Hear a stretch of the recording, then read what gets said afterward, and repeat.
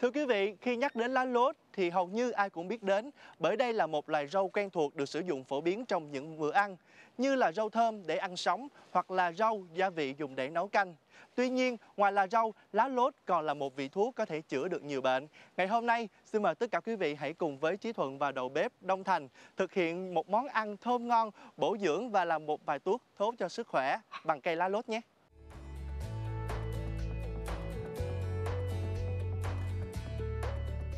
Lá lốt là loại cây thân thảo thuộc họ hồ tiêu. Cây lá lốt cao khoảng 30 đến 40 cm, mọc thẳng khi còn non, khi lớn có thân dài không thể mọc thẳng mà trường trên mặt đất. Trong y học cổ truyền, lá lốt có vị nồng, hơi cay, tính ấm, có công dụng ôn trung, làm ấm bụng, tán hàn, trừ lạnh, hạ khí, đưa khí đi xuống và chỉ thống, giảm đau.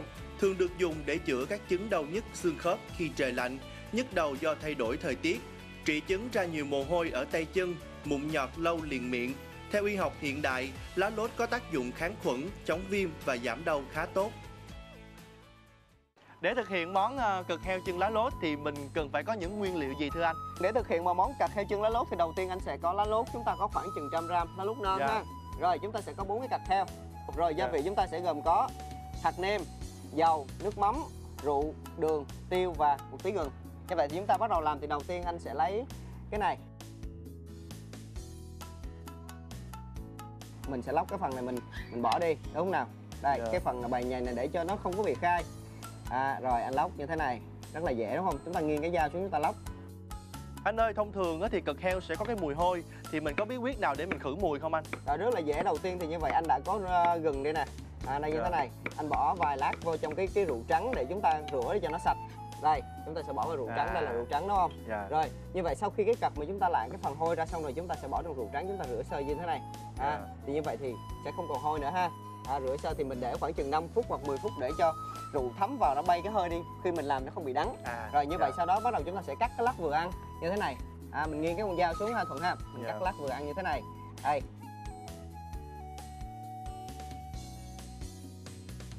như vậy thì anh sẽ có khẩu phần cho bốn người ăn thì anh dùng một Dạ. quả cặp khoảng chừng à, 200 gram là được rồi Dạ. à, như vậy đây anh chọn cho vào sau đó anh sẽ sắc lá lốt lá lốt thì mình chọn lá lốt non khoảng chừng à, 300 gram cà kheo thì chúng ta có khoảng chừng 50 gram lá lốt Wow, Chí Thuận cũng có thể cảm nhận được cái mùi của lá lốt đang Ừ. bay nồng lên rất là thơm. Rồi, sau đó chúng ta sẽ Dạ. có một chút xíu gừng chúng ta cắt sợi ra À, như thế này, gừng chúng ta cắt sợi chúng ta cho vào cho khử mùi và gừng thì có Dạ. vị ấm rất là tốt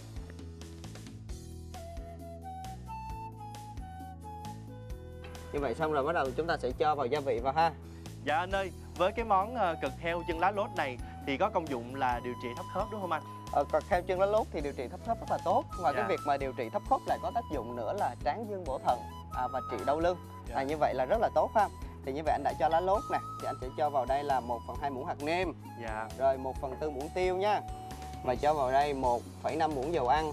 Có dầu ăn thì cho nước Và chúng ta sẽ cho 1 phần 2 muỗng nước mắm và chút xíu đường. Ha Có thể mình dùng đường phèn. Và sau đó mình trộn đều lên như thế này. Mình để khoảng chừng à, 20 phút à, Cho gia vị thấm đều hết Và sau đó mình đem mình mình chưng cái thỉ.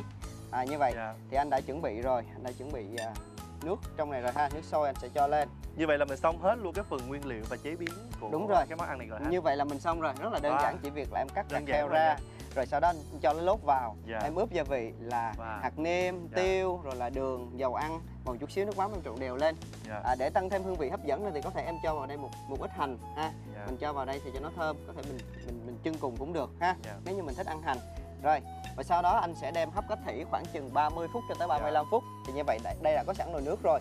Thì như vậy anh cho vào đây. Dạ. à, như thế này. Và anh cứ đậy nắp lại đúng không nào? Với món ăn này thì mình chưng khoảng bao nhiêu lâu vậy anh? với món ăn này thì mình chưng khoảng từ 30 cho tới 35 phút em. Dạ. à, bắt đầu từ nước sôi. Dạ. mình cho vào. Mình để mình nhỏ lửa đừng có sôi quá nước sẽ tràn vào đây.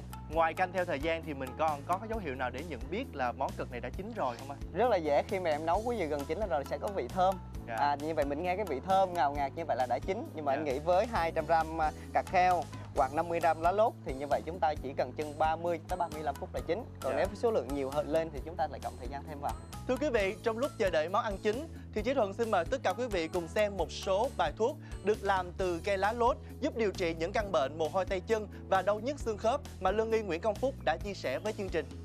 Bài thuốc trị đổ mồ hôi tay chân từ lá lốt. Dùng một nắm lá lốt khoảng 30g, cho vào một lít nước, nấu sôi, cho vào một ít muối để hơi nguội, dùng để ngâm tay chân trước khi đi ngủ. Bài thuốc chữa đau lưng từ lá lốt. Lá lốt, ngải cứu, hy thiêm thảo mỗi thứ 20g, đem giả nát, chưng cho nóng, sau đó đắp lên chỗ lưng đau ngày hai lần. Bài thuốc chữa đau nhức xương khớp từ lá lốt. Lá lốt, cỏ xước, cốt khí cũ, mỗi thứ 15g, cho 600ml nước vào, sắc xuống còn 200ml, chia ngày uống hai lần. Anh Thành ơi, em bắt đầu ngửi được mùi thơm của lá lốt rồi đó. rồi như vậy là 35 phút rồi đã chín ha anh sẽ mở ra ừ, Wow, rất là thơm thơm quá. rồi wow Wow. rất là hấp dẫn rồi như vậy thì anh sẽ à, cho qua bên cái tô bên cạnh ha để mình mình à, ra mình trang trí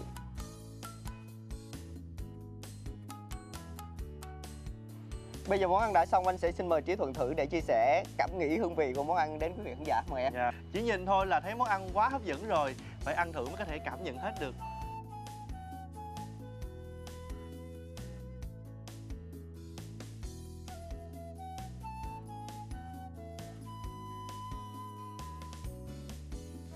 rất là hồi hộp. Wow. Khi cắn một miếng cực heo á, thì sực sực giòn giòn rất là ngon. Đặc biệt á, là mùi của lá lốt. Ừ, rất là thơm. Và xông lên tới mũi như thế này làm cho chúng ta có một cảm giác rất là sảng khoái và dễ chịu. Cảm giác như là được thông mũi vậy. Cảm ơn Đông Thành đã dành thời gian đến tham dự chương trình ngày hôm nay và giới thiệu cho chúng ta một món ăn không chỉ thơm ngon, bổ dưỡng, tốt cho sức khỏe, có công dụng tráng dương bổ thận, đặc biệt là đối với những ai mắc những căn bệnh xương khớp. Đến đây thời lượng chương trình cũng đã hết. Hy vọng quý vị và các bạn có thể thực hiện thành công món ăn này. Xin chào tạm biệt và hẹn gặp lại.